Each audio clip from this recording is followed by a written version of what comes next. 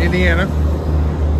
Uh, at a warehouse called Green Rabbit. Um, delivering pizza crust that is cauliflower based pizza crust. Uh, the company logo is right here.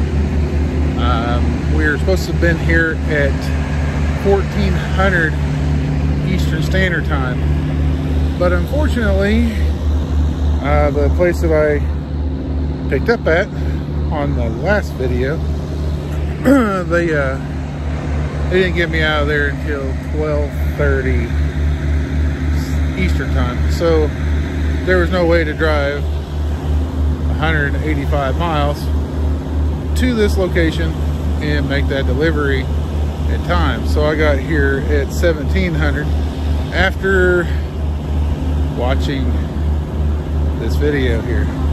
Uh, don't know how this gentleman took and done things. Yes, sir. Well, like I was saying, I don't know how this gentleman took and tore his truck up that damn bad. But I can tell you one thing. It's pretty damn wild.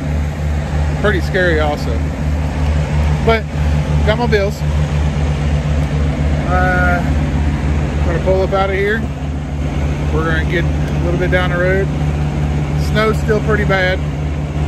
See a little bit of video here, picture that uh, the roads are kind of screwed up in Pennsylvania. The snow, I don't have to be in Maryland until, or Massachusetts, sorry. I don't have to be in Boston, Massachusetts until 1400 on Friday. This is Wednesday. So I got a little bit of time to go 900 miles. So, um, I'm gonna get to see about getting over by Cole. I don't know where I'm gonna get to. Um,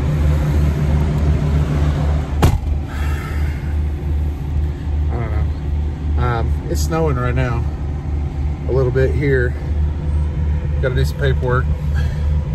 We'll be back with you guys. All right, I'm back. Uh, there's a company logo. So, I'm gonna shut this trailer up. Gonna pull the pin on the on the tandems. Shut the doors like so. Um, took all of it. he took all of it. Um, he was only supposed to take half of it. That ain't good. Um, that's crazy. I gotta deal with the guy.